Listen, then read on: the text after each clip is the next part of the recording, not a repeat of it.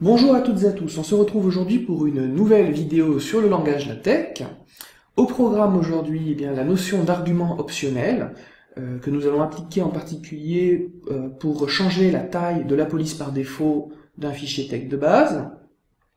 Nous allons ensuite parler des packages, en tout cas nous allons introduire la notion de package, et ensuite nous verrons une application des packages pour les accents en LaTeX, euh, ce qui ne sont pas a priori évidents, en tout cas pas disponibles euh, de manière naturelle.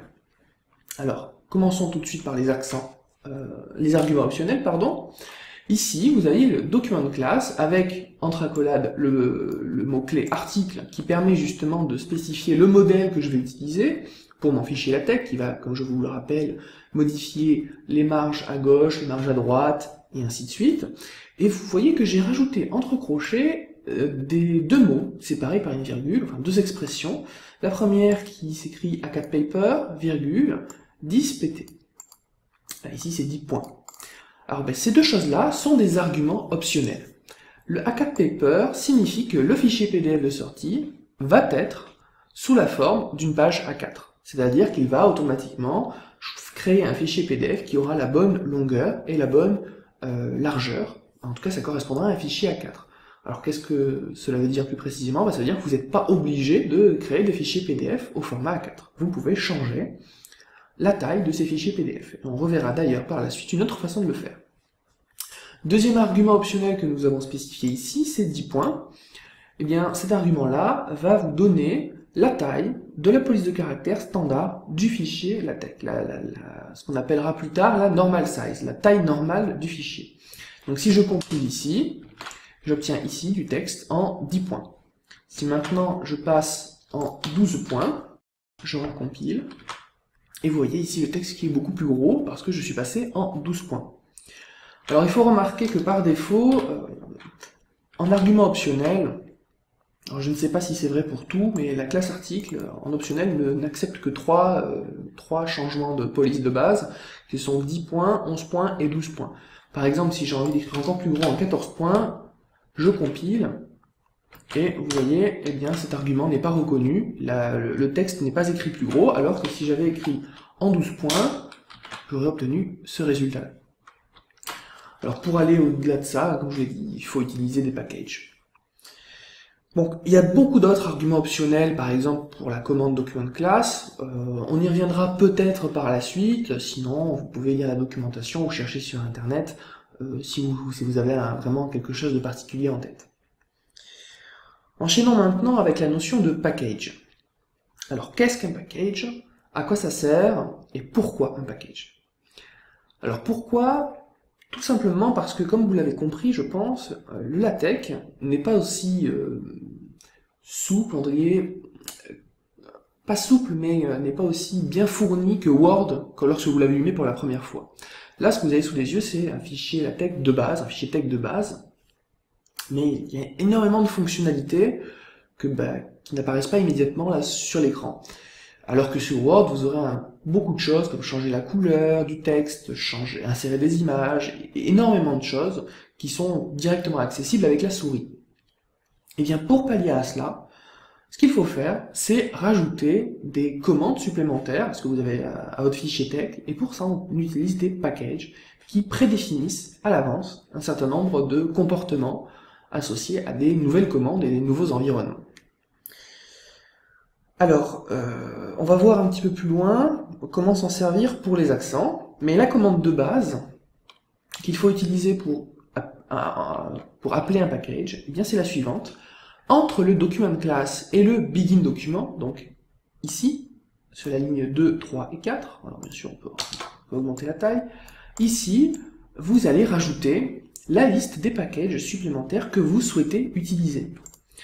La commande est la suivante, anti-slash use package, pour je vais utiliser un paquet, euh, je vais utiliser des commandes. Entre euh, crochets, vous allez mettre des arguments optionnels, exactement comme pour document class, nous allons avoir la possibilité d'utiliser des arguments optionnels. Et entre accolades, vous allez donner justement le nom du paquet qui vous intéresse et que vous allez, euh, bah, dont vous avez besoin. Alors je ne vais pas euh, tout de suite Je vais garder un petit peu de suspense pour la suite, et on reviendra sur cette commande juste après avoir parlé des accents. Au passage, j'en profite pour vous montrer euh, un caractère spécial du LaTeX qui permet de commenter une ligne, c'est-à-dire qu'elle ne sera pas interprétée par le compilateur, ou, encore une fois, cela signifie qu'elle n'apparaîtra pas dans le fichier PDF final. Donc il suffit tout simplement de mettre en début de ligne le symbole pourcentage. Ici, avec l'éditeur que j'utilise, vous voyez que la ligne n'est pas maintenant en vert, ce qui signifie que cette ligne-là ne sera pas interprétée. Si je compile, vous ne verrez nulle part use package, il n'y a pas de souci, il n'y a, rien de plus. Alors, je sais que vous êtes impatient de voir un petit peu comment les paquets fonctionnent, mais revenons tout d'abord sur la notion d'accent en latin. Alors, pourquoi on va parler d'accent? Eh bien, je suis sûr que euh, vous avez remarqué dans la vidéo précédente un petit problème sur un accent, sur le seul accent du fichier d'ailleurs, l'accent du mot deuxième. Si je regarde le fichier PDF que nous avions obtenu, ici, il n'y a pas le E accent grave. Il n'est pas là. Pourquoi? Eh Bien tout simplement parce que, par défaut, la tech ne comprend pas euh, ces caractères-là. Ce ne sont pas des caractères euh, reconnus. Alors, il existe deux façons de faire. La première est une solution un petit peu brute, un petit peu compliquée, que je vais vous présenter tout de suite, parce qu'elle a certains avantages. Et la seconde, eh bien, va consister à utiliser des packages. Donc venons-en tout de suite à la première. Lorsque je veux taper un accent en LaTeX, sans rajouter de package, eh bien, la solution consiste à utiliser la commande suivante, anti-slash, l'accent en question, par exemple l'accent grave, puis la lettre qui va, euh, bah, qui va porter cet accent. Ici, Si je compile maintenant, ce que vous allez voir, c'est que j'ai mon E accent grave. Donc maintenant, il ne, me suffit plus que de l'écrire ici. Donc anti-slash, l'accent et le E pour avoir un accent grave. Pour avoir un accent aigu, je vais mettre euh, l'apostrophe. Si je veux un accent circonflexe, eh bien je vais mettre le symbole circonflexe pour un A. Et si je veux un tréma, par exemple, je peux mettre anti-slash le tréma et un I. Je compile et j'obtiens ainsi tous les accents que je voulais. Ici l'accent grave, l'accent aigu, l'accent circonflexe et le tréma sur le I. Alors, ce qui est intéressant, et ce que moi j'ai beaucoup aimé lorsque j'ai découvert le langage LaTeX, c'est que pour des, accents, euh, j'ai envie de dire, inhabituels, et il peut arriver quand on utilise, euh, c'est beaucoup plus simple que pour Word, où dans Word, il vous faut ouvrir la table de caractères, chercher l'accent parmi des milliers de symboles. J'exagère peut-être un petit peu, mais c'est assez fastidieux, alors que là, en LaTeX, mais vous pouvez faire n'importe quel accent sur n'importe quelle lettre de manière extrêmement rapide et extrêmement générale, dans le sens où c'est toujours la même commande. Prenons euh, l'exemple suivant, j'ai envie d'écrire, je ne sais pas pourquoi, mais faisons-le, un P circonflexe. Eh bien, anti-slash, accent circonflexe, P. Je compile, et j'obtiens un P circonflexe. Bon, a priori, c'est pas forcément quelque chose qu'on utilise souvent, mais on peut le faire très facilement. Donc c'est très pratique pour des accents un petit peu particuliers. Par contre, je pense que vous serez d'accord avec moi que c'est vraiment pas pratique pour des accents qu'on utilise régulièrement. Lorsque j'écris deuxième, mon premier réflexe sur le clavier, c'est de taper sur euh, l'accent grave. Et pas anti-slash, l'accent grave, et puis le E. Euh, pour pallier à cela, on va utiliser des packages. Des packages qui vont nous permettre de reconnaître les accents sans avoir besoin de taper cette commande. Alors le package standard euh, que l'on va utiliser pour ça, eh bien c'est le package input inc. Alors je vais enlever le commentaire de cette ligne, donc use package entre crochets et entre accolades, et ici, entre accolades, je mets input Donc là, ça va me permettre de gérer les accents. Oui, mais, comme vous, voyez, comme vous pouvez le voir ici, il ne se passe rien. L'accent grave n'est toujours pas affiché, bien que j'ai fait appel au package. Tout simplement parce qu'il faut lui préciser, il faut lui préciser quel va être l'encodage euh, du caractère qu'il va reconnaître pour ensuite le transférer sous, format, sous la forme d'un fichier PDF, pour le caractère PDF associé. Alors, euh, ici, il y a un gros débat sur quel type d'accent, comment choisir l'encodage, quel est le meilleur encodage selon la plateforme, selon le, le système d'exploitation que vous utilisez. Bon, ce qu'il faut savoir, euh, en tout cas ce que je vous conseille, c'est que selon votre euh, système d'exploitation, vous allez utiliser plus ou moins une, certaine norme plutôt qu'une autre, mais soyez cohérent et consistant. Ne changez pas euh, régulièrement d'encodage. Par exemple, moi je suis sous, Linux. Ici, vous voyez, mis le fichier tech, que vous êtes en train de regarder est encodé au format UTF-8.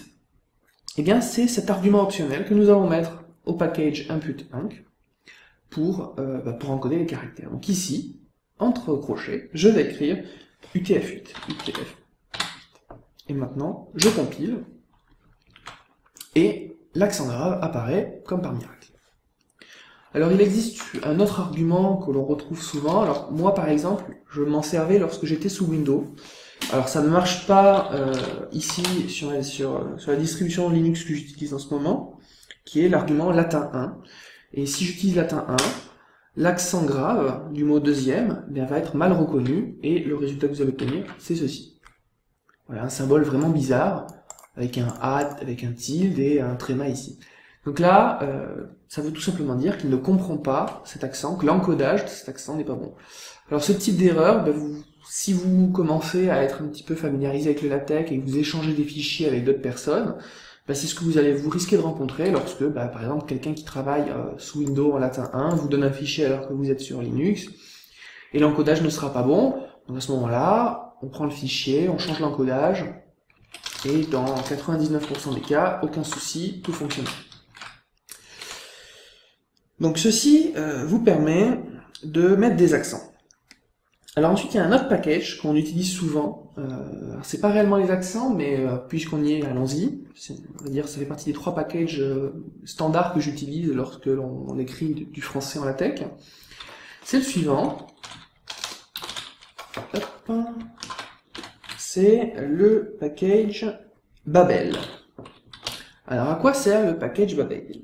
Eh bien tout simplement, euh, ça va permettre de modifier un certain nombre de comportements typographiques qu'aurait euh, le compilateur de base. Alors pour ici, on va, je vais vous expliquer. Je vais enlever l'espace entre le, le point d'exclamation et le bonjour. Je vais recommencer ça pour voir ce qu'il se passe sans ce package Babel. Je compile, qu'est-ce que j'obtiens? J'obtiens le beau bonjour qui est collé au point d'exclamation. A priori, cela ne devrait pas vous choquer. Cependant, en français, il doit y avoir un espace ici entre le R et le point d'exclamation. Ce sont les règles de typographie française. Et eh bien, pour que cela soit appliqué, il suffit d'utiliser le package Babel avec, comme argument optionnel, le mot French, pour dire que nous sommes en train de travailler en français. Si je fais ça et que je compile, maintenant, comme par miracle, il a rajouté un espace entre le R et le point d'exclamation. Alors, a priori, vous allez me dire, c'est pas forcément nécessaire puisqu'il suffit de, je vais vous montrer ici, de mettre un espace à la main entre le bonjour et le point d'exclamation. Et si je compile, j'obtiens à peu près le même résultat. Vous voyez, j'ai un espace ici. Alors, juste je vous le mentionne comme ça, on verra plus tard que lorsqu'un texte euh, est suffisamment long, le compilateur va lui-même faire les coupures des lignes. C'est-à-dire, il va passer à la ligne lui-même. Vous n'aurez pas à préciser quand se passe le passage à la ligne et il va choisir l'endroit le plus esthétique. Il a un certain nombre de critères à remplir, et il fera en sorte d'avoir un certain, de, satisfaire un certain critère esthétique. Et dans le cas où j'ai mis un espace entre le bonjour et le point d'exclamation, eh bien il va considérer que cette zone-là peut, euh, peut être séparée. C'est-à-dire qu'il pourrait écrire bonjour sur une ligne, aller à la ligne et ensuite mettre le point d'exclamation. Et là je pense que vous serez d'accord avec moi que ça n'a aucun sens d'écrire bonjour point d'exclamation de cette manière-là. Alors que dans ce cas-là, puisque bonjour et le point d'exclamation sont collés, il n'ira pas à la ligne, mais rajoutera un espace pour que cela soit compatible avec la typographie française. Alors on va parler d'un dernier package euh, qui est intéressant et qui est utile. Euh, c'est peut-être celui que je connais le moins bien des trois, euh, mais au final, les résultats sont relativement plus jolis. Je vous laisserai vous documenter si ça vous intéresse. Moi personnellement, je dois vous avouer que ce qui compte c'est l'efficacité, et en le rajoutant, j'obtiens un résultat qui me plaît complètement. Le package, c'est Font Inc. Donc là, ça va permettre de gérer la police des accents. Et ici, je rajoute donc le package font inc avec l'argument optionnel T1, T majuscule et un 1. Alors, qu'est-ce que cela va obtenir? Qu'est-ce qu'on va obtenir? Je compile, et voilà le résultat. A priori, aucune différence visible, euh, mais je vais zoomer. On va voir un petit peu plus près ce qui se passe sur l'accent, justement, puisque ce package sert pour les accents. Regardez bien la position de l'accent sur le E, enfin sur le E accent grave. Je vais commenter ce package et recompiler. Et maintenant, ah, regardez la position de l'accent. Elle est légèrement différente. Alors, pour bien comprendre, je vais positionner mon curseur à droite, alors on va faire mieux, on va le poser à gauche, oui, je vais positionner le curseur de la souris à gauche de l'accent, je vais enlever euh, le pourcentage, je compile, et je reviens, et là vous remarquez, je n'ai pas bougé ma souris, la position de l'accent, le la, la position de l'accent n'est pas la même. Et personnellement, je préfère cette dernière, où l'accent me semble légèrement plus petit et plus centré au niveau du. Je vous remontre une nouvelle fois, j'enlève le package Fontaine, et vous voyez, l'accent est plus sur la gauche, avec peut-être un angle, euh, enfin avec une ligne un peu plus penchée. Si je remets le package, j'ai un nouvel accent, voilà, nouvel accent qui apparaît. Donc c'est vraiment euh, un détail, certains pourront dire que c'est un détail, en tout cas ça permet de, mieux gérer les accents, ça permet de, changer la, la fonte utilisée. Voilà, on s'arrête aujourd'hui, je vous remercie de m'avoir écouté jusqu'à maintenant, et on se retrouve pour une prochaine vidéo sur le langage LaTeX.